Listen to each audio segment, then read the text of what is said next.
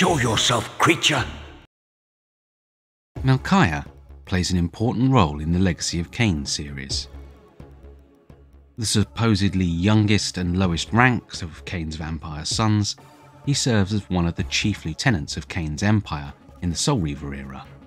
And in this vein, he acts as the first boss of Legacy of Kain's Soul Reaver. He returns in Soul Reaver 2, which examines his origins as a human Sarafan warrior, and again positions him as a boss enemy. Melchiah was born as a human at some point in Nosgoth's early history. A sudden rise in vampire numbers triggered retribution from the humans and the formation of the Sarafan Vampire Hunting Order, and Melchiah joined up to stop the vampire menace. In time, he became established as one of the commanders of the Order, counting Zephon, Rahab, Duma, Turel, Raziel, and Malik as his brothers in arms leading the Crusaders to many victories, though he was one of the oldest of the group and arguably the lowest ranked of the leaders. At the height of the Crusades, Melchiah accompanied the commanders on a daring mission into vampire territory. Tasked with assassinating legendary ancient vampire Janos Audron, who was believed to be the father of the vampire race, Melchiah and his brethren infiltrated Janos Audron's mountain retreat following in the wake of a blue wraith, actually a future version of Raziel, and brought with them the vampire disabling staff of Moebius. As the wraith met with Janos, the commanders burst in. Janos transported the wraith away, and the Sarafan lieutenants battled with the vampire. And after a long battle, they emerged victorious and ripped out his dark heart believing it held the source of the curse. Taking the heart and the legendary Soul Reaver blade, the brothers in arms retreated to their stronghold as the Blue Demon returned to seek revenge. But their reprieve was only temporary. The demon followed them back to the stronghold and infiltrated the inner sanctum, opening the way for another vampire, Vorador, to attack the Circle of Nine as they attempted to channel the demon through the fortress into the path of their strongest warriors. Melchiah and Zephon together were the first to face the Wraith. But even with their combined might, they were dispatched by the creature, and Melchiah died on the floor of the Sarafan stronghold courtyard. But that wasn't the end of his story. In the years after his death, Melchiah was memorialized with a mural in the chapter house of the Sarafan stronghold, and his body was interred along with his fallen brothers in the tomb of the Sarafan. His body lay undisturbed for a millennium until the vampire Kain broke into the tomb, breathing his life force into the bodies of the fallen Sarafan warriors. Kain was able to snare their souls from the underworld and resurrect them as a new generation of undead necromantic vampires. Melchiah was the last of the brothers to be raised, and he went on to raise his own lieutenants and subordinates, giving rise to the vampire clan known as the Melchahim.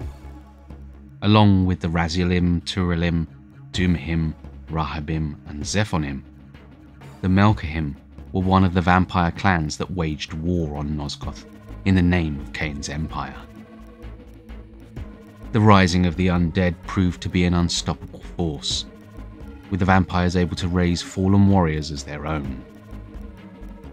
Within a few decades, the unstoppable undead horde had become completely dominant, all but wiping out human opposition and leaving a single human city as a placid token of the fallen human resistance. The vampires built a new renaissance and raised an empire built by human slaves. But all was not necessarily well in the world of Melchiah and the Melchahim. As the last raised, Melchiah inherited the weakest portion of Kain's vampire gift, and he was prone to continued decay, with patches of his skin needing to be periodically replaced. This meant that along with drinking the blood of their victims, Melchiah and his clan gained a reputation for skinning their victims to use their skins as well. To counter their weaknesses, the Melchahim bred more warriors than the other clans and began experimenting with death and decay, and even learnt to graft entire body parts. As the Empire developed, its leading vampires became bored and detached with its day to day affairs, with Kain and the Council often betting on the outcomes of political intrigues of the lesser vampires of the Empire. For nearly a millennium, vampires were uncontested rulers of Nosgoth, and they continued to evolve, entering states of change and emerging with new gifts. With Melchiah presumably going through several pupation cycles over the course of hundreds of years. Until one day, his eldest brother Raziel evolved before their master Kain, growing a pair of bat-like wings. Melchiah and his brothers were called to a meeting at the Pillars where Raziel unveiled his new gift, and Melchiah was visibly uneasy at the revelation, and the brothers were even more shocked at Kain's response of ripping out Raziel's wings and ordering him to be executed in the Lake of the Dead. If the lore of multiplayer Nosgoth is followed, then Melchiah was secretly joyful at the downfall of his favoured brother. But in the aftermath, Kain vanished, resulting in the Melchahim doubling down on their spectral experimentations as the clans devolved into a full-blown civil war. Their endeavours provided some useful additional discoveries, such as the secret of liquid fire naphtha and they gained access to the forbidden drylands of death, along with the abilities to summon various undead creatures, which would come in handy when the clans reunited against the resurgent human threat. By the time Raziel returned a few centuries later, Melchiah and the Melchahim had control of a territory centered around the necropolis and the ruins of Nupraptor's retreat. But their devolution had accelerated with the clan reduced to a zombie-like state, and Melchiah being little more than an amorphous form covered in stitched-together human skins, with Melchiah clearly feeling some revulsion for his appearance. Raziel's journey to the necropolis was one of his first acts upon his return, and he reached Melchiah's chambers in an old charnel house beneath the necropolis. The two discussed Kain's plans and the dispatching of the Razielim before they battled. Raziel was able to trick Melchiah into a gigantic meat grinder before finally providing him release and consuming his soul to gain the ability to phase through barriers. Raziel would use this ability to progress onto the Sanctuary of the Clans and his first meeting with Kain at the Pillars. Melchiah's death would merely be the first of his brothers, as Raziel took personal revenge against the Empire. But he would learn of their shared Sarafan heritage, or travelling back in time. And it wouldn't be the last that Raziel would see of Melchiah. Like the rest of his brothers, Melchiah was seen at several different stages through his life, and not always in the correct order. He was first seen as a vampire along with the rest of the Council of Kain's Empire in the introduction cutscene of Legacy of Kain Soul Reaver. For that cutscene, his appearance was designed by the cinematic company Glyph X, an artist Boyd Lake. This initial appearance is the only time Melchiah's regular vampire form is seen, and the model he uses was adapted from Raziel's to give a uniform appearance to the lieutenants, although each was given unique design flourishes, with Melchiah given a bald head and bulging stitches, suggestive of his underlying issues. This appearance formed the basis of a mural of the vampire Melchiah that was seen on the wall of the necropolis as Raziel made his way through the territory. The mural itself was actually formed from the real-world Externsteine relief found in Germany, which depicts the recovery of Jesus' body from the cross after his crucifixion. In game, the Glyph X Melchiah model is carved over the top, largely obscuring the background mural. Melchiah would be seen later in the game, as he served as the first boss Raziel fought upon his return from the Abyss several years later.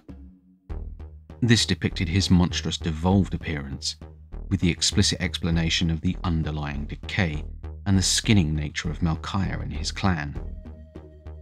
In this form, several bodies and faces can be seen stitched together to cover Melchiah's bulbous mass. Melchiah is described in background materials as vain and searching for the most stunning specimens.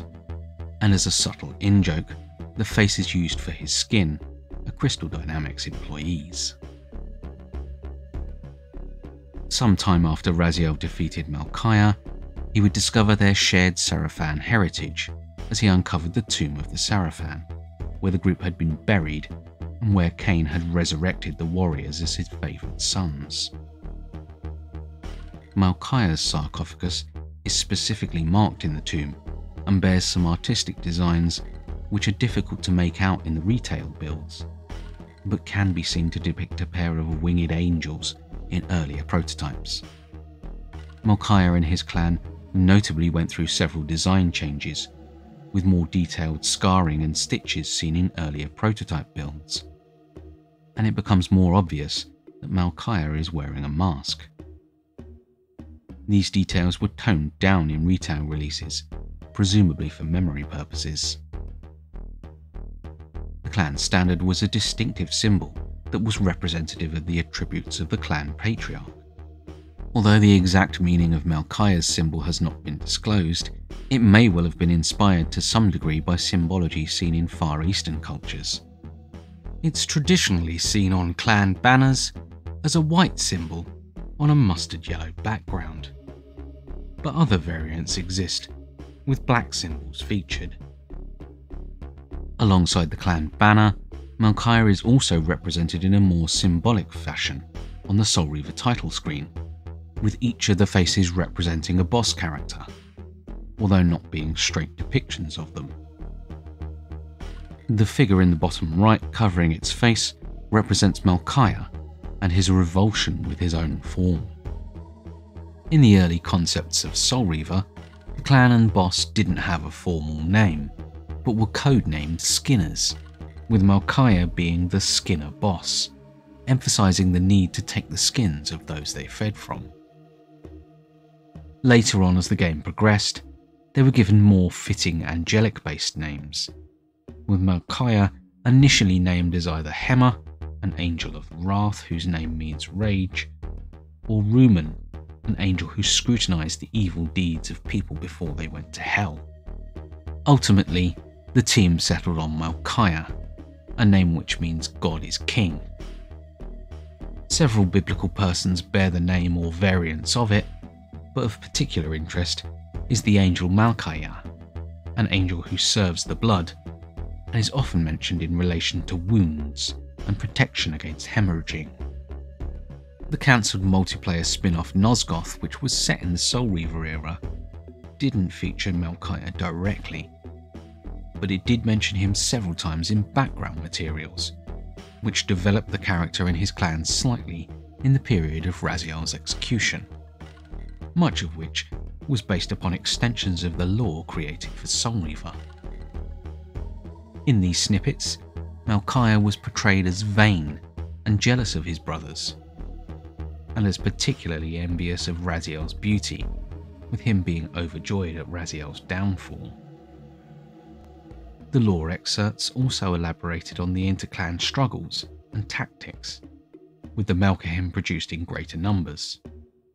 It also added lore suggesting that on Melchiah's orders, the clan began experimenting with alchemy and necromancy to gain an edge on the other clans, leading them to the establishment of the Melchahim Summoner class seen in the game. When Raziel went back in time to earlier periods of Nosgoth's history, it would be the earlier human Sarafan versions of his brothers that would take precedence. and Raziel would find murals depicting his Sarafan heritage after he arrived in the Sarafan stronghold. Melchiah would be depicted with a sword and with an appearance that notably bore a resemblance to his vampire depiction, bearing a bald head and mustard yellow armour pieces and trim markings evocative of his clan banners, and with a helmet with tall spikes, not unlike those seen around the head of the devolved Melchiah.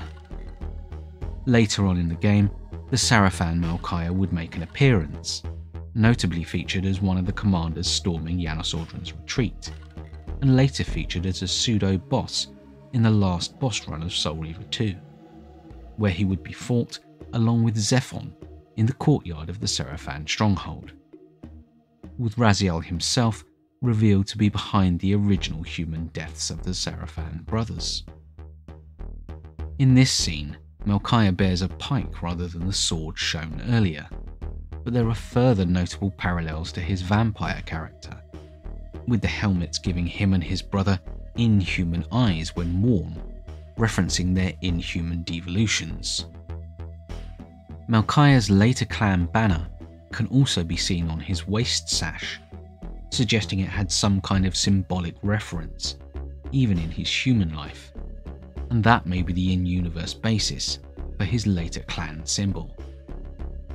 The souls of Melchiah and Zephon, like those of the rest of his brothers, absolutely cannot be consumed, at the express intention of developers to avoid a paradoxical situation. In the sequence they are featured, Raziel is given the Reaver, which binds to him in such a way that it prevents him from taking damage, consuming souls, or shifting to the spectral realm. The Lieutenant's souls are of a unique design compared to the rest of the souls in the game, and they quickly fly up and away, as if destined for something more.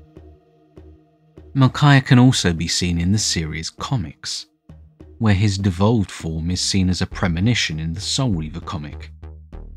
His vampire form can be seen in the German Vorgeschicht comic, and both his vampire and devolved vampire appearances can be seen in the recollections of the Defiance comic.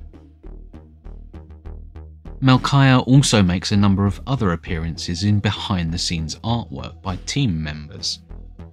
His regular vampire form can be seen in artwork by Glyphx artist Boyd Lake, and his devolved form can be seen in concept art by both Arnold Ayala and Brett Hartthorne. His Sarafan form and concepts of it can be seen in the bonus materials of Soul Reaver 2. We hope you've enjoyed these lore bites. Join us next time for more Legacy of Kain lore.